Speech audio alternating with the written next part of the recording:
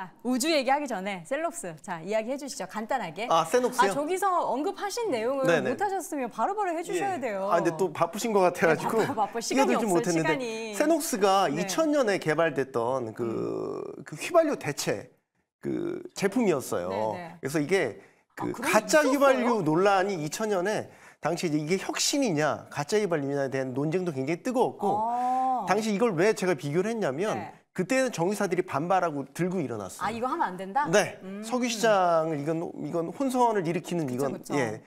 근데 지금은 이제 석유사업법 개정에 대해서는 음. 정유사들이 찬성을 하고 있잖아요. 왜 그래서 그럴까요? 이제 친환경 규제라든지 이런 음. 것들이 그 사이에 엄청 강화됐고 네. 친환경 대체 연료로 가야 된다라는 게 이제 미래 비전으로 바뀌었다는 거죠. 음. 그래서 이제 그때와 지금을 비교해 보면 그때는 사실 정유사들이 들고 내서 결국 재판까지 가서 졌거든요. 그 세녹스가 졌거든요. 네. 네, 그래서 판매가 금지가 됐었는데 음. 지금은 이제 이 개정안은 이 시대가 이렇게 바뀌었다. 네. 이 얘기를 하기 위해서 세녹스의 추억이 떠오른다라는 네, 한 줄 평을 남겼습니다. 네, 잘하셨습니다. 네. 앞으로는 그 얘기를 할 때 저한테 미리 좀 기뜸해 주시거나 네. 그랬으면 좋겠습니다. 자, 이제는 다시 한번 우주로 넘어가 보도록 하겠습니다. 어제도 저희가 그 우주항공청 그 신사역 관련해서 이야기를 전해 드렸는데 오늘은 보니까 항공주도 함께 움직이고 있습니다. 어제도 이제 뭐 중소형 항공사들의 주가의 움직임들 좀 나타나면서 뭔가 기대감이 좀 있나 싶었는데 뭔가 우주의 기운까지 항공주 까지 좀 영향을 네. 미치는 걸로 봐야 되나요? 아, 대기권 밖으로 날아가는 건 아닌데 우주의 기운까지는 모르겠는데 네. 네, 대기권 안에서 일단 날아가는 항공주에 대해서는 네, 지금 전반적으로 환경이 괜찮죠. 네. 일단 유가 가 많이 떨어졌잖아요. 그쵸. 네, 작년 3분기에 이제 뭐 WTI 기준으로 90달러, 배럴당 90달러 대 음. 육박했다가 지금은 어쨌든 10달러 대 초반 그 사이에 뭐 지정학적 리스크도 많이 터졌지만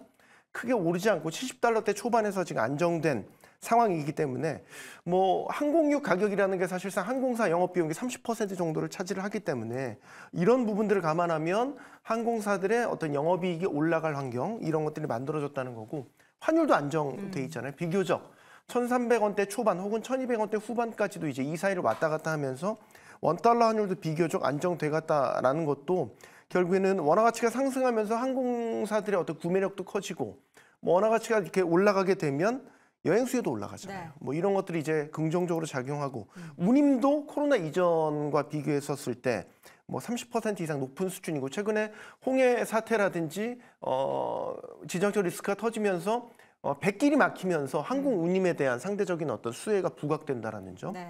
이런 부분들도 얘기를 해봐야 될 것 같고 음.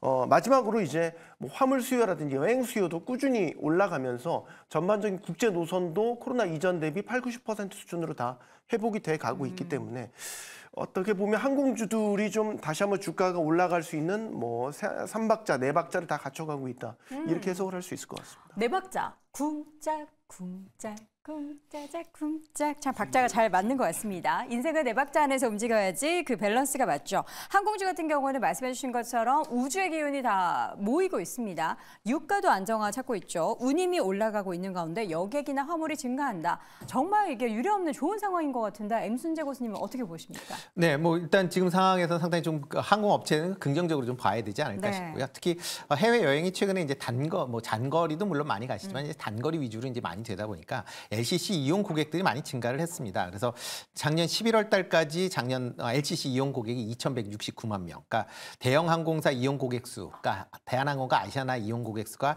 2,063만 명이었으니까 그거보다 더 많은 사람들이 이제 LCC를 지금 이용하고 있다라고 보시면 될 것 같고요. 2023, 2022년도에 어, LCC 이용 고객이 450만 명이었으니까 그거에 비해서 건 다섯 배 가까이 이용객이 증가할 만큼 그러다 보니까 이제 가- 당연히 관련된 기업들의 실적도 좋은 그런 모습을 보이고 있습니다. 특히 뭐 제주항공 같은 경우는 뭐 작년에 지금 예상, 어, 영업 이제 시장 컨센서스를 본다라고 하게 되면 영업이익이 한 1,500억이 좀 넘을 걸로 보여지고요. 뭐 티웨이 항공이나 그다음에 진에어 같은 경우도 1,500억 내외로 지금 예상이 될 만큼 뭐 이런 항공사들의 실적도 상당히 이제 좋아지고 있다라고 보시면 되고요. 특히 이제 이 겨울철이 되면 어, 그 항공사 입장에서 보면 가장 성수기입니다. 그러니까 겨울 방학이 있기 때문에 이런 성수기 동안에 실적도 개선된다라고 하게 되면 1분기까지는 그런 실적 개선세가 좀 이어질 가능성은 충분히 있다라고 좀 생각을 하고 있습니다. 네, 제가 방금 이제 네 박자 노래 살짝 불렀는데 우리 임순재 교수님도 그렇고 다들 반응이 이제 없다. 여도원이 뭘 하든 이제는 무반응으로 일관한다라고 하면서 우리 제작진들이 너무한 거 아니냐라고 하는데 저는 뭐 누구의 반응을 원하고 뭐 노래를 부른다거나 그런 거 아닙니다. 제가 좋아서 부르는 거니까요. 보시는 우리 시청자분들이 음 뭐지 하면서 이렇게 피식 웃음만 지으셨다면 저는 그걸로 만족합니다. 항공주 관련해서는 아시아나와 대한항공 의 합병 이슈도 있잖아요. 그거는 뭐 어떻게 좀 진행되고 있는 거예요? 일단 합병 이슈 같은 경우는 아직까지도 계속 뭐 심사가 여러 번 남았다라는 부분에서는 아직 불확실성이라고 보셔야 될 것 같고 그래서 저 같은 경우에는 일단 뭐 항공주 같은 경우에 그냥 단순히 좀 짧게 말씀드리면은 뭐 합병도 좋고요. 그 다음에는 뭐 성수기도 좋고 다 좋은데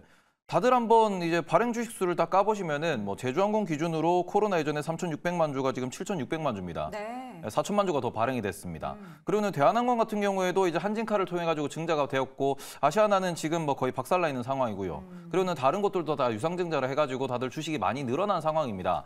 그리고 거기에다가 주식만 늘어났냐 그러면은 이자 발생 부채 같은 경우에도 다들 매우 재무구조에 부담스러울 만큼 부채가 많이 쌓였습니다. 그러니까 코로나의 데미지가 아직까지 해소되지 않았다라는 점을 조금 기억을 해보셨으면 좋겠고 그런 부분에서는 그냥 항공주는 아니 뭐 국제유가가 떨어지면 오르는 종목이다. 어, 요 정도로 접근하시면 아주 좀, 디, 좀 완전 그러니까 거의 완벽한 투자 방법이지 않을까라고 생각을 하는 게 국제유가 오르면 빠지거든요. 네. 어, 국제유가 떨어지면 오르거든요. 그런 식으로 단기로 접근하는 섹터로 보셨으면 좋겠고 여기는 지금 배당을 줄 여력도 그다음에는 실적이 나온다 그래가지고 뭔가 뭐 재투자를 할 만한 여력도 없는 곳입니다. 부채가 워낙 많이 쌓여있기 네, 네. 때문에 이런 부분에서는 조금 보수적으로 보시는 게 좋지 않을까 이렇게 말씀을 드리고요. 그다음에 아시아나 항공을 어떻게 좀 합병을 한다고 하더라도 저는 뭐 둘 다뭐 도움이 된다고 생각을 안 하기 때문에 네, 네. 네, 그런 부분 짜, 뭐 차, 뭐차 떼고 포 떼고 이제 합병이 되다 보니까 그런 부분은 뭐 우리가 투자 아이디어로 애매하다. 가져가기에는 애매하다라고 보시는 게 좋을 것 같습니다. 알겠습니다. 어제 항공주가 사실 많이 올랐거든요. 오늘은 약간 희비가 엇갈리고 있는데 이재규 고수님은 항공주 전반적으로 우리 테이블 고수처럼 부정적으로만 보시나요? 저는 좀 긍정적으로 보고 어, 있습니다. 일단 주가 흐름. 자체가 견조하게 나오고 있어서 추가 상승의 가능성이 좀 있다라고 생각을 하고 네. 있고요. 그리고 우리나라 그 대한항공과 아시아나항공의 그 합병 가능성도 2월 초면 마무리가 될 가능성이 있다라고 하죠. 실제로 음. 이제 수요도 계속해서 늘어나고 있는 부분 그리고 비용을 많이 차지하고 있었던 유가가 계속해서 하락하고 있었던 부분들 같은 경우도 어떻게 보면 좀 부각 우리나라 시장 항공주들의 긍정적인 모멘텀으로 작용할 가능성이 있다라고 보고 있습니다.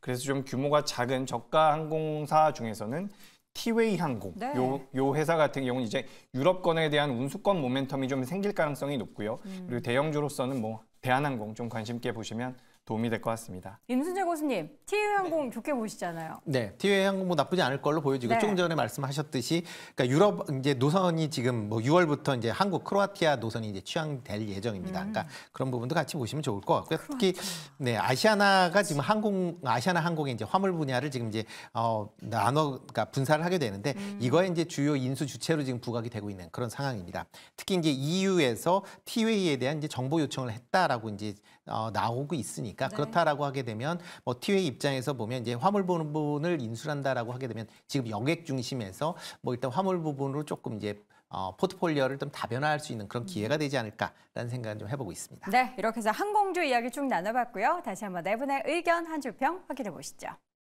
자, 임순재 고수의 의견입니다. 겨울 성수기다. 그리고 손소 고수는 항공주 네 박자 맞아 떨어진다. 이재규 고수는 상승 흐름을 타는 중이다. 테이블 고수는 항공주는 국제유가 내린단만 단타로 보자라고 의견을 남겼습니다.